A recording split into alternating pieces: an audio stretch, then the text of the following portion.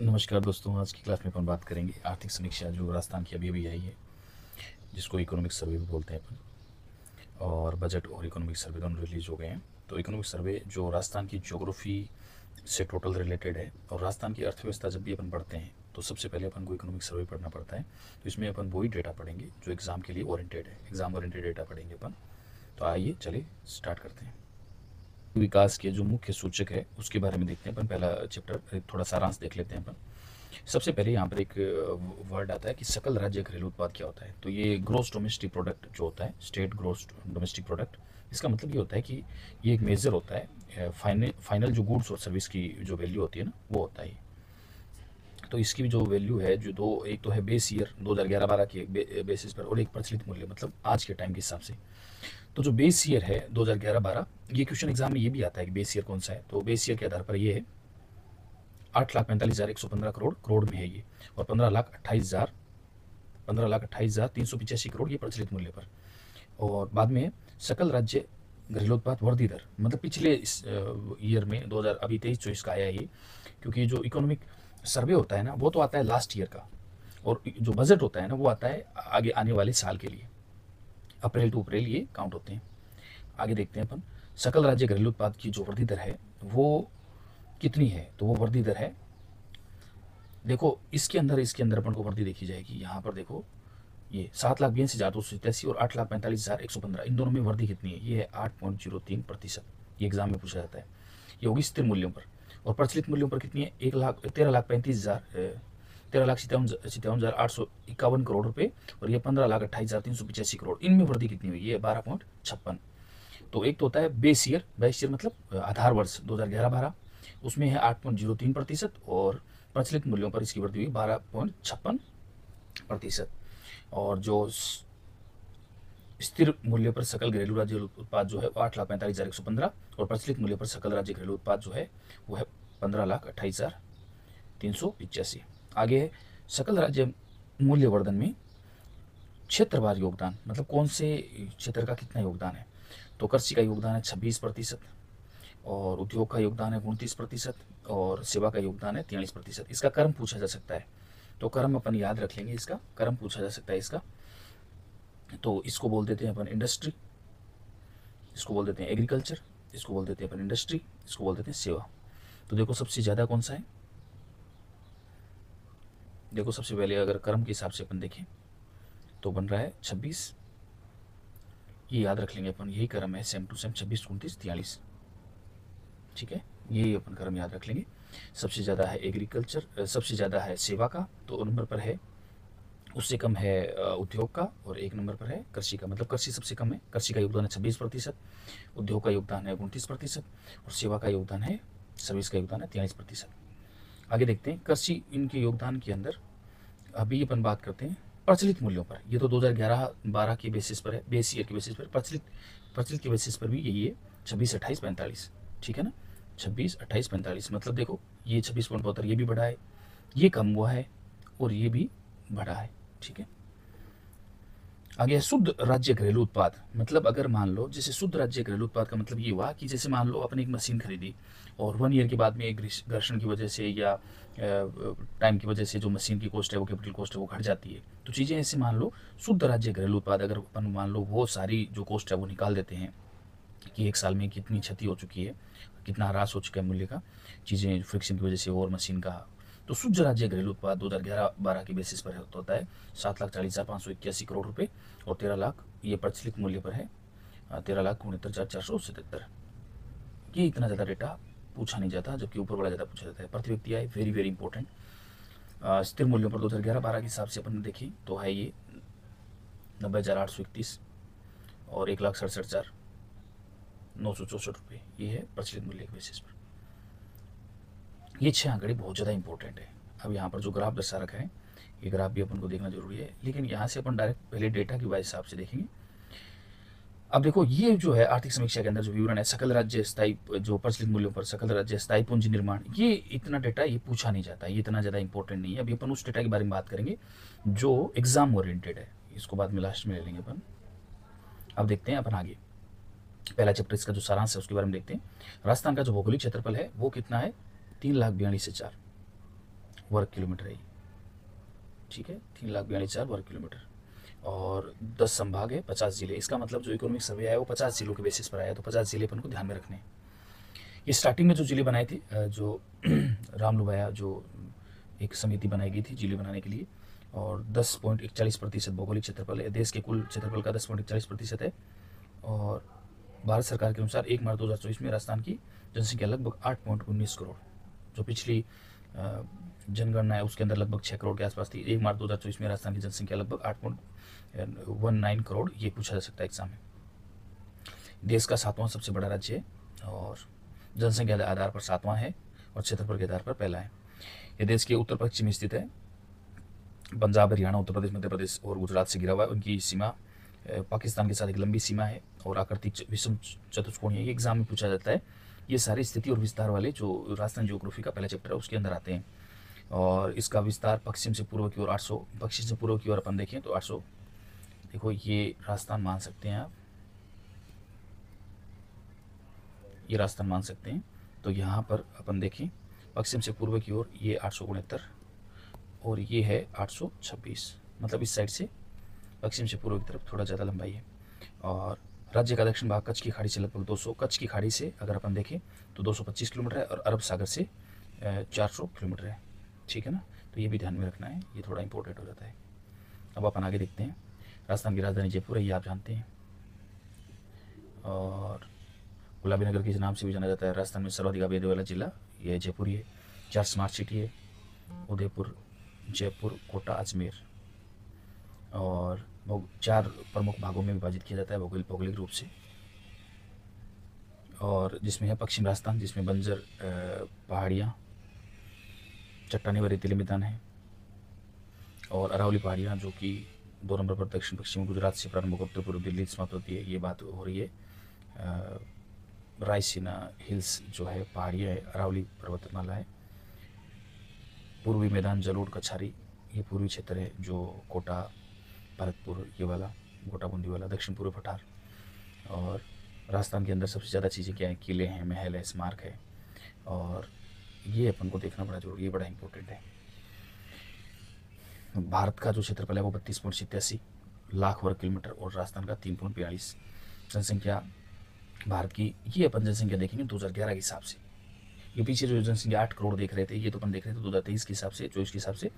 लेकिन अभी तक दो हज़ार, जो इक्कीस वाली जनगणना है, वो आई नहीं है। लगभग दो हज़ार पच्चीस छब्बीस तक आ जाएगी। लेकिन तब तक अपन यही वाली ऑफिशियल डेटा यही देखेंगे। और जो दस की वृद्धि दर राजस्थान के अंदर इक्कीस पॉइंट तीन और भारत के अंदर सत्रह पॉइंट सात, जो कि भारत के अंदर सही है। और जनसंख्या घनत्व है, राजस्थान के अंदर दो सौ, तीन सौ बयासी। देखो, राजस्थान का क्षेत्रफल बहुत ज़्यादा है इसलिए घनत्व है, यहाँ कम ही होगा, जनसंख्या घनत्व है, थोड़ा कम होगा।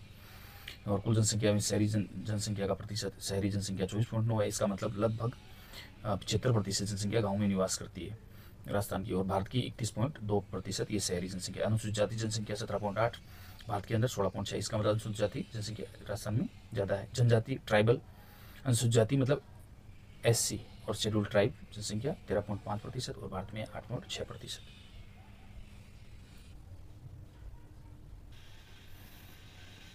साक्षरता दर की अपन अगर बात करें तो राजस्थान की 66.1 परसेंट और भारत की है तिहत्तर परसेंट यहाँ इस सारणी से एक क्वेश्चन तो इस टेबल से आता ही आता है हमेशा।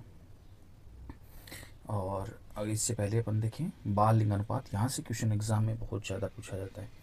ये देखो, ये जो है लिंगानुपात, ये वी है, ये वी वी आई पी कर लो आप चाहिए वेरी वेरी इंपॉर्टेंट बाल लिंगानुपात जो है आठ सौ अट्ठासी राजस्थान का और भारत का है नौ सौ उन्नीस।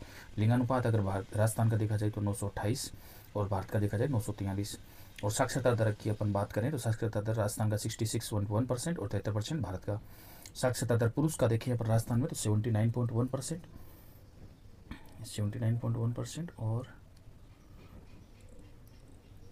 और अगर इंडिया का देखें तो एट्टी पॉइंट नाइन परसेंट साक्षर दर महिला की बात करें तो fifty two point one percent sixty percent और कार्य सहभागिता दर forty three point six percent thirty percent एगोषित जन्म दर अगर अपन बात करें तो है तेईस पॉइंट पाँच परसेंट राजस्थान की और भारत की उन्नीस पॉइंट पाँच परसेंट एगोषित मृत्यु दर पाँच पॉइंट छः परसेंट और भारत की छः पॉइंट छः पॉइंट ज़ीरो परसेंट शिशु मृत्यु दर, शिशु की अगर राजस्थान की बात की जाए तो बत्तीस। और भारत की बात की जाए तो ट्वेंटी एट। प्रति हज़ार जीवित जन्म है शिशु मृत्यु दर प्रति हज़ार जीवित जन बत्तीस राजस्थान का, प्रति हज़ार जीवित जन भारत का अट्ठाईस। मात्र मृत्यु अनुपात प्रति लाख जीवित जन, प्रति लाख जीवित जन एक सौ तेरह, राजस्थान का और भारत का नाइन्टी सेवन। और जन्म के समय जीवन प्रत्याशा जीवन प्रत्याशा राजस्थान में देखो sixty nine point four percent seventy percent seventy year sixty nine point आयु वर्षों में। जैसे नॉर्मली आदमी कितना जीता है लाइफ साइकिल जो होता है वो sixty nine point four percent Rajasthan का। क्योंकि खाना यहाँ का राजस्थान का जाना, जो है वेस्टर्न जो जितना भी नॉर्थ वेस्ट में जो एरिया है, वहाँ पर अनाज ज़्यादा खाया जाता है। और ओवर इंडिया में सबसे ज़्यादा अगर एज देखी जाती है तो वो साउथ की एज देखी जाती है। क्योंकि सी फ़ूड ज़्यादा चलता है उधर। तो जन्म के समय जो जीवन प्रत्याशा, sixty nine point four, Rajasthan की और भारत की है सेवेंटी पॉइंट ज़ीरो।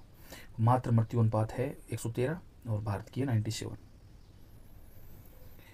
ये जो आंकड़े हैं बड़े इंपॉर्टेंट है। इसके अंदर कार्य सहभागिता दर जो है, ये भी पूछी जाती है एग्ज़ाम के अंदर। राजस्थान में forty three point six percent कार्य सहभागिता दर राजस्थान के अंदर ज़्यादा है forty three point six percent है। मतलब काम करने वाले सौ लोग में से सौ में से फोर्टी थ्री पॉइंट सिक्स लोग काम करते हैं। सारे पॉपुलेशन में से थर्टी नाइन पॉइंट एट ये इंडिया का है, कार्य सहभागिता दर अंशोधित जन्म दर, ये जो दो आंकड़े बीच में बचे हैं, ये बहुत ज़्यादा इंपॉर्टेंट है। ये बहुत ज़्यादा इंपॉर्टेंट है दोनों। अंशोधित जन्म दर प्रति हज़ार मध्य वर्ष जनसंख्या, ये डेफिनेशन भी एग्ज़ाम में पूछी हुई है, बहुत ज़्यादा इंपॉर्टेंट है प्रति हज़ार मध्य वर्ष जनसंख्या। राजस्थान में तेईस पॉइंट पाँच है अंशोधित जन्म दर। भारत के अंदर अंशोधित मृत्यु दर पाँच पॉइंट राजस्थान की जो अंशोधित जन्म दर है वो तेईस पॉइंट पाँच है और भारत की अंशोधित जन्म दर है वो नाइनटीन पॉइंट फाइव है। अंशोधित मृत्यु दर राजस्थान की पाँच पॉइंट छः अंशोधित मृत्यु दर भारत की छः पॉइंट ज़ीरो है। शिशु मृत्यु दर प्रति हज़ार जीव जन बत्तीस, राजस्थान की अट्ठाईस, भारत की भारत में मतलब राजस्थान के अंदर थोड़ी कंडीशन जो है वो क्रिटिकल है। अभी बार क्विक रिव्यू देख लेते हैं अपन जीएसडीपी और एनएसडीपी नेट हो गई शुद्ध वाली जीएसडीपी ग्रोस हो गई domestic product gross state domestic product ठीक है ना? जो सर्विस और प्रोडक्ट की वैल्यू उसको बोलते हैं जीएसडीपी प्रचलित मूल्यों पर है पंद्रह पॉइंट अट्ठाईस लाख करोड़ रुपए। वेरी इंपॉर्टेंट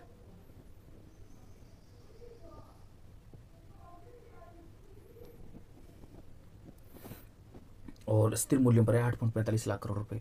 शुद्ध राज्य घरेलू उत्पाद है तेरह पॉइंट उनहत्तर लाख करोड़ रुपए। और स्थिर मूल्यों पर है शुद्ध राज्य घरेलू उत्पाद। यह सात पॉइंट इकचालीस लाख करोड़ रुपए। प्रति व्यक्ति आय है एक लाख सड़सठ हज़ार नौ सौ चौंसठ रुपये और स्थिर मूल्यों पर दो हज़ार ग्यारह बारह पर नब्बे हज़ार आठ सौ इकतीस रुपये एग्ज़ाम में यहाँ से पूछा जाता है कि थोक एवं उपभोक्ता मूल्य जो सूचकांक है, वो आधार वर्ष क्या है उसका? तो थोक मूल्य सूचकांक का आधार वर्ष है उन्नीस सौ निन्यानवे दो हज़ार।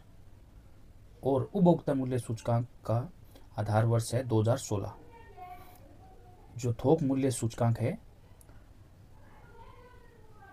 वो उसमें प्रतिशत वृद्धि 2022 में तीन से बढ़कर 2023 में तीन सौ हो गया। ये दोनों आंकड़े बड़े इंपॉर्टेंट है। और तीन सौ इक्यासी हो गया। तो इसमें कितनी वृद्धि है? Point five four, point five four वृद्धि है। इसके अंदर प्राथमिक वस्तुएँ कौन कौन प्राथमिक वस्तुएँ? ईंधन, शक्ति प्रकाशन एक सारे। भारतीय स्तर पर ये सूचकांक आधार वर्ष दो हज़ार ग्यारह बारह है और दो हज़ार बाईस तेईस बाईस और दो हज़ार तेईस में एक सौ इक्यावन पर रहा। उपभोक्ता मूल्य सूचकांक सीपीआई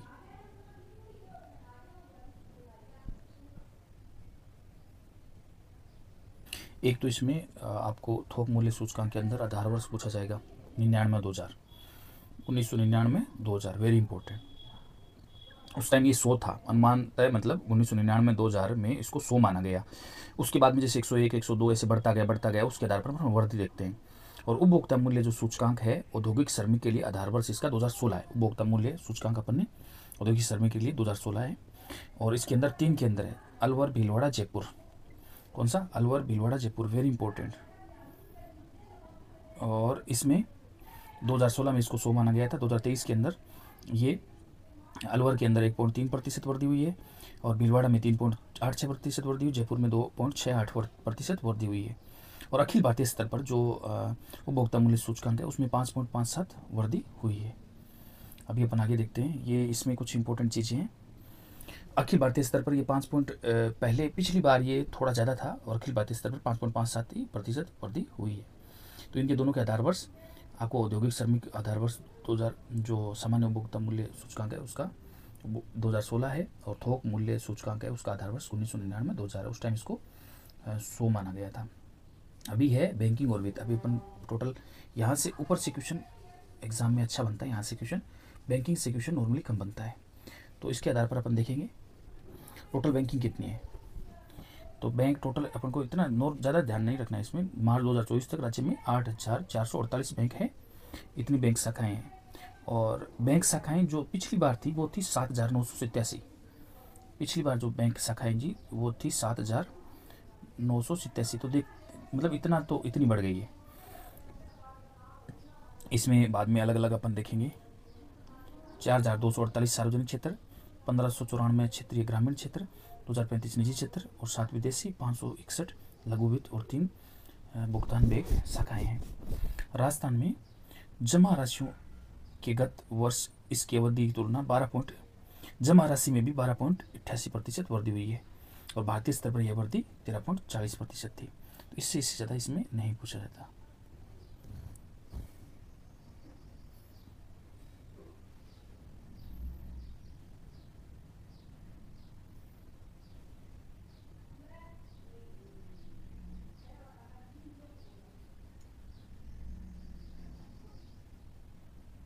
यहाँ से एक क्वेश्चन और बन सकता है कि राजीव गांधी कृषक साथी सहायता योजना के तहत वित्तीय वर्ष तेईस चौबीस के दौरान सत्ताईस सौ अठारह किसानों को चालीस पॉइंट इक्यासी करोड़ रुपए की वित्तीय सहायता प्रदान की गई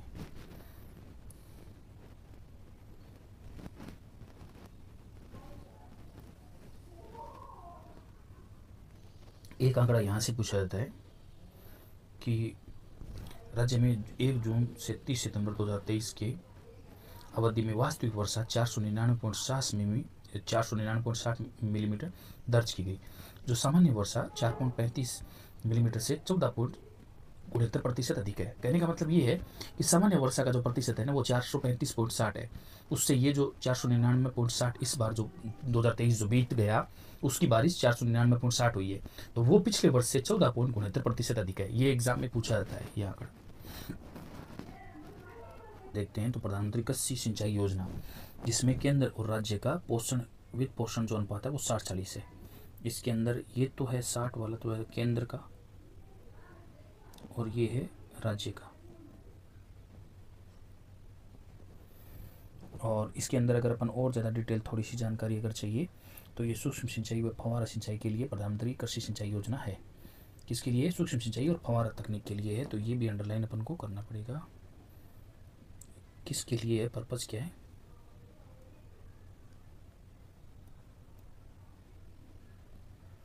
सूक्ष्म सिंचाई और फवारा तकनीक के लिए है दो हज़ार तेईस चौबीस के दौरान एक सौ बयासी पॉइंट इक्कीस करोड़ रुपए, एक सौ नौ पॉइंट तीन करोड़ केंद्रीय अंश और बहत्तर पॉइंट अट्ठासी करोड़ रुपये राज्य अंश व्यय किए गए दो हज़ार तेईस चौबीस में कितना व्यय है? वेरी इंपॉर्टेंट एग्ज़ाम में आ सकता है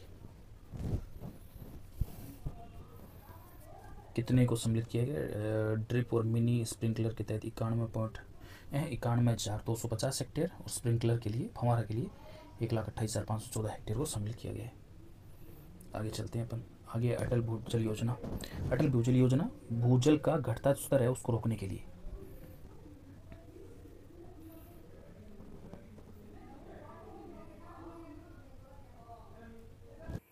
लास्ट में अपन ने देखा है, मुख्यमंत्री लघु वाणिज्यिक वाहन रोज़गार योजना है 2022 में शुरू हुई थी ये योजना। और 18 से पैंतालीस वर्ष के आयु के लोग इसमें अप्लाई कर सकते हैं। ये अपन ने देख लिया, ये देख लिया अपन ने। अठारह से पैंतालीस वर्ष के लोग इसमें अप्लाई कर सकते हैं। और पंद्रह लाख तक के वाणिज्यिक वाहन की खरीद पर दस हज़ार रुपये या साठ हज़ार रुपये जो भी कम हो, उसका अनुदान मिलता है। अब अपन बात करते हैं आगे खनिज के बारे में। खनिज के बारे में देखो, अपन ने पहले ही बात कर ली कि इक्यासी प्रकार के खनिज टोटल ये जोग्राफी के लिए भी बड़ा इंपॉर्टेंट है। इक्यासी प्रकार के टोटल खनिज अपन को भंडार मिलते हैं, जिसमें अट्ठावन खनिजों को खनन किया जा रहा है, ये भी बड़ा इंपॉर्टेंट है। और जिसमें अलग अलग अपन थोड़ा डिस्ट्रीब्यूट करके देखें तो जो धात्विक खनिज है, जो धात्विक खनिज है, धात्विक खनिज जो है, वो है सत्रह और एकमात्र उत्पादक सीसा और जस्ता का एकमात्र उत्पादक है। क्या? सीसा और जस्ता। ये तो हो गए धात्विक। टोटल इक्यासी है जिसमें अठावन का खनन किया जा रहा है? और अग्रणी धात्विक एकमात्र हो गए सीसा जस्ता, जिसका राजस्थान एकमात्र उत्पादक है। और ये अग्रणी जिसके अंदर थोड़ा ज़्यादा प्रोडक्शन होता है। एकमात्र तो नहीं, लेकिन अग्रणी उत्पादक इसमें हो गया चांदी। अधात्विक खनिज। अब लोगों को दिमाग में आ रहा होगा कि एकमात्र उत्पादन इसी सदस्यता फेल्स पार भी होता है। तो अधात्विक में आते हैं थर्टी नाइन।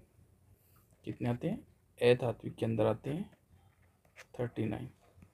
थर्टी नाइन के अंदर सेलेनाइट और वोल्स्टेनाइट, एकमात्र उत्पादक। जिसके अंदर कौन सा आएगा? सेलेनाइट और वोल्स्टेनाइट। वोल्स्टोनाइट।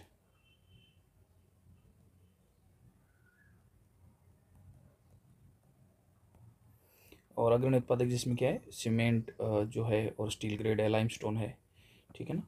ईंधन खनिज जो है, कच्चा तेल, उसके बारे में सबसे दूसरा बड़ा उत्पादक है।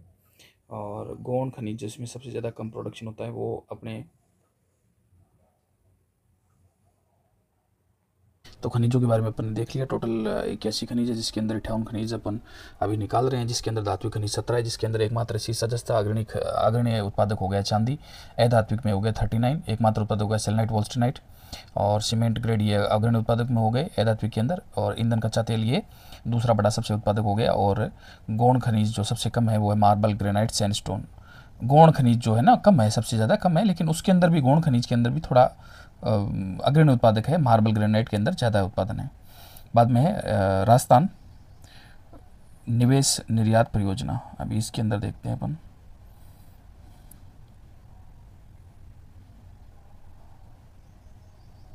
हाँ राजस्थान निवेश योजना, ये 2022 ये देखिए। तो इसकी शुरुआत 2022 हुई थी और इसको आर बोलते हैं। तीव्र और सत्ताईस संतुलित औद्योगिक विकास के लिए ये बहुत ज़्यादा ज़रूरी है। इसके उद्देश्य मुख्य क्या है? तीव्र और स्थायी संतुलित औद्योगिक विकास के लिए स्टार्ट की गई आरआईपीएस नीति और निवेश प्रोत्साहन के लिए प्रमुख संस्थान इसकी निवेश संवर्धन ब्यूरो है। ये अपन ने निवेश संवर्धन ब्यूरो, ये इसकी संस्था है जो इसको चलाती है। आगे है मुख्यमंत्री युवा उद्यम प्रोत्साहन योजना। मुख्यमंत्री युवा उद्यम प्रोत्साहन योजना, ये देख लेते हैं अपन। इसकी शुरुआत उन्नीस मई 2023 को अधिसूचित किया गया है और उन्नीस मई 2023 को।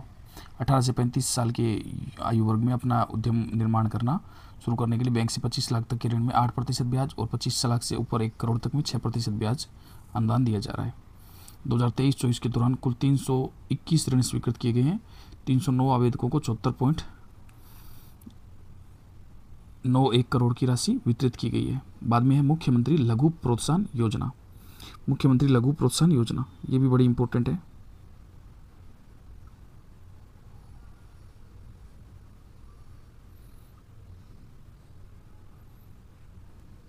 लघु प्रोत्साहन योजना के अंदर इस योजना के अंतर्गत जो छोटे पैमाने के जो उद्यमी है, उनका विस्तार करना औद्योगिक और आधुनिकीकरण के लिए 25 लाख तक के ऋण में 8 प्रतिशत और पाँच करोड़ तक के ऋण में 6 प्रतिशत, ऐसे जो छोटे पैमाने के उद्यमी है, उनका विस्तार करने के लिए, छोटा बिज़नेस पहले से कर रखा है, उनका विस्तार करने के लिए, और सात हज़ार नौ सौ बीस उद्यमियों को चौदह सौ इक्यावन करोड़ का ऋण वितरित किया। ये ज़्यादा सरकार के लिए ज़्यादा सेफ़ रहता है। राजस्थान सूक्ष्म लघु और ये राजस्थान सूक्ष्म लघु और मध्यम उद्यम facilitation of the establishment and operation अधिनियम 2019 इसके बारे में देख लेते हैं अपन।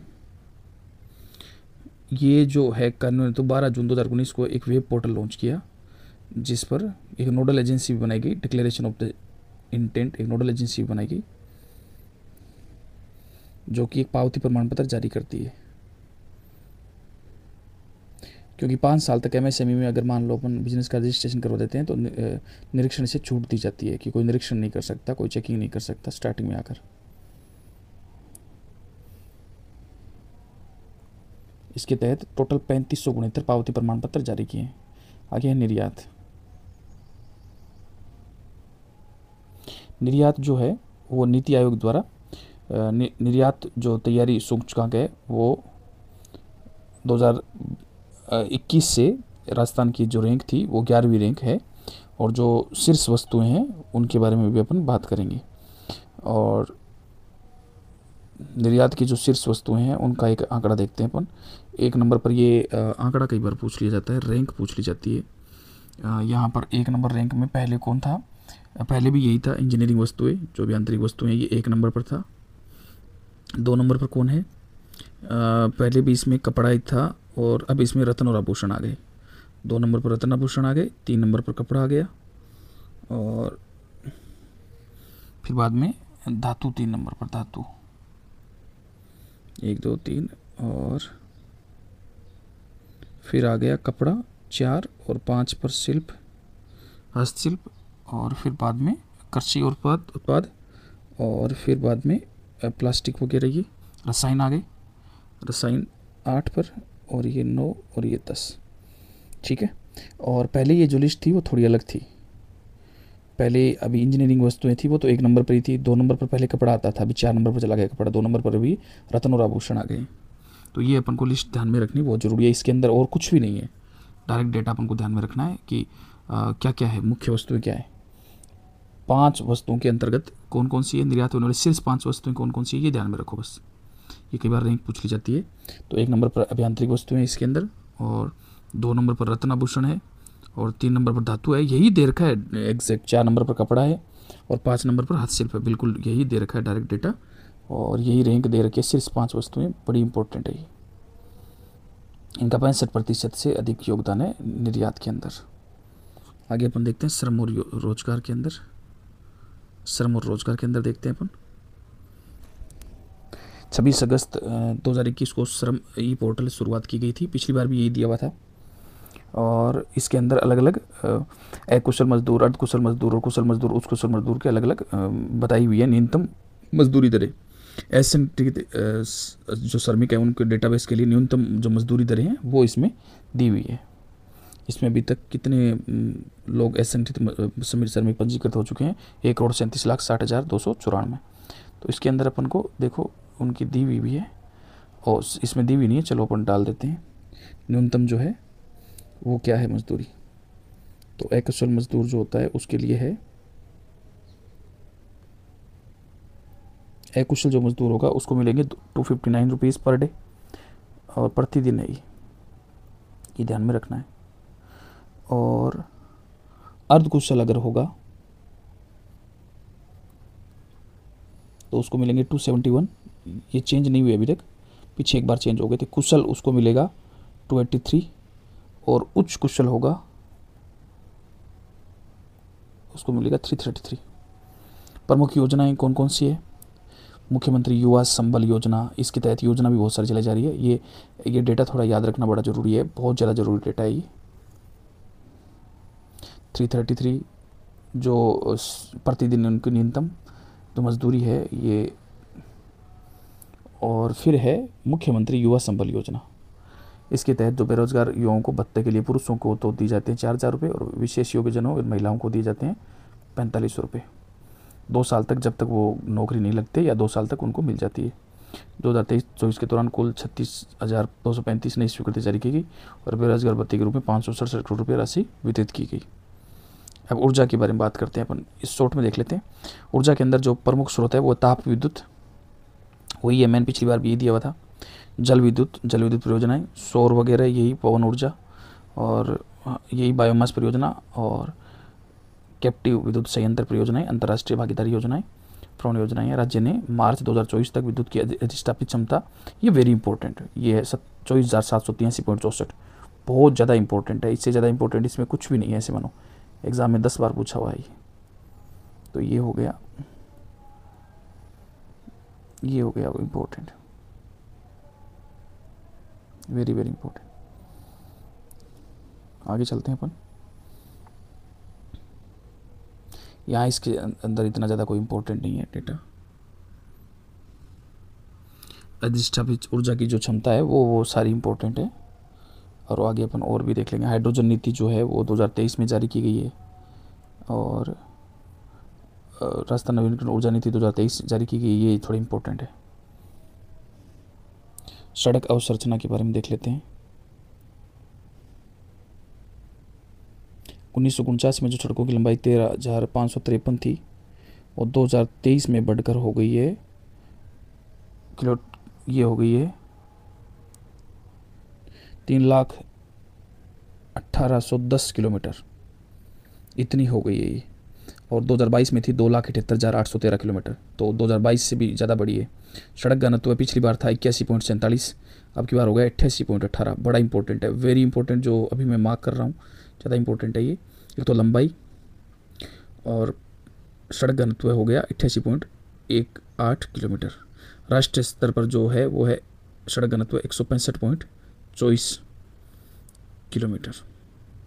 वेरी इंपॉर्टेंट अखिल भारतीय हो गया, आगे देखेंगे अपन सूचना और प्रौद्योगिकी ये मेन मेन चीज़ें यही पूछी जाती है इंपॉर्टेंट यही है।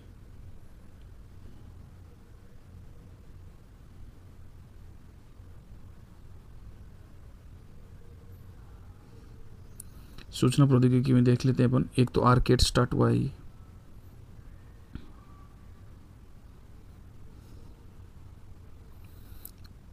advance technology Rajasthan centre for advance technology RCAT है। ये उद्यमशीलता और रोज़गार के लिए मज़बूत करने के लिए लोगों को कौशल देने के लिए, युवाओं को कौशल देने के लिए आर्केट का शुभारंभ जयपुर में हुआ है। बड़ा इंपॉर्टेंट है ये। और उद्देश्य के लिए एप्पल माइक्रोसॉफ्ट इनके साथ है इनका कोलेब हुआ है और तकनीकी को एक ही मंच पर लाया गया है। नौ सौ उम्मीदवारों का नामांकन किया गया था। एक सौ बत्तीस लोगों को नौकरी पर भी रख लिया गया है। आगे जन सूचना पोर्टल। देखो, पिछली बार में भी था एक आई स्टार्ट राजस्थान राजस्थान में जो नवाचार है, निवेश को प्रोत्साहन देने के लिए आई स्टार्ट स्टार्ट हुआ था। राजस्थान संपर्क पोर्टल नागरिकों के लिए केंद्रीकृत शिकायत निवारण नीति प्लेटफॉर्म दिया था। मुख्यमंत्री हेल्पलाइन, टोल फ्री नंबर एक सौ इक्यासी की शुरुआत हुई थी। और राजकाज एक वेब पोर्टल हुआ था, जो सेवा वितरण बढ़ावा देने के लिए सरकारी कर्मचारी की राजकाज का एक प्रयोग। और Rajiv Gandhi centre for advance technology, RCAT जो था 2022 से शुरू हुआ स्नातक और स्नातकोत्तर, जो पीजी के विद्यार्थी artificial intelligence machine learning database से कुछ भी लर्निंग सीखना चाहते हैं तो और एक पोर्टल आ गया जन सूचना पोर्टल। सभी योजनाओं की जानकारी एक ही जगह उपलब्ध करवाने पर पोर्टल पर अभी तीन सौ चौवालीस राज्य की योजनाओं सहित एक सौ सत्तर विभागों की सात सौ उनतीस बिंदुओं की जानकारी रियल टाइम पर प्रदर्शित किया गया है।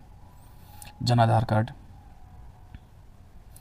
जन आधार योजना एक नंबर, एक कार्ड पहचान, ये जो जन आधार योजना है, ये प्रारंभ की गई थी और इकतीस मार्च 2024 के नामांकित विभागों की संख्या दो पॉइंट ज़ीरो एक करोड़ और व्यक्तियों की संख्या सात पॉइंट आठ दो करोड़ और कुल ट्रांजेक्शन एक करोड़ हो गए इसके अंदर। और सारे जो लाभ हस्तांतरण, इसको डायरेक्ट डीबीटी योजना भी बोलते हैं, जनाधार इसीलिए लाया था, इकसठ हज़ार दो सौ सत्तर करोड़ रुपए डायरेक्ट ट्रांसफ़र किए गए हैं।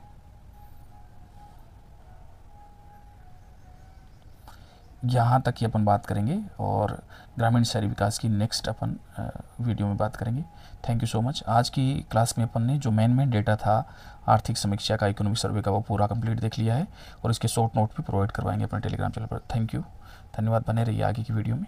Thank you so much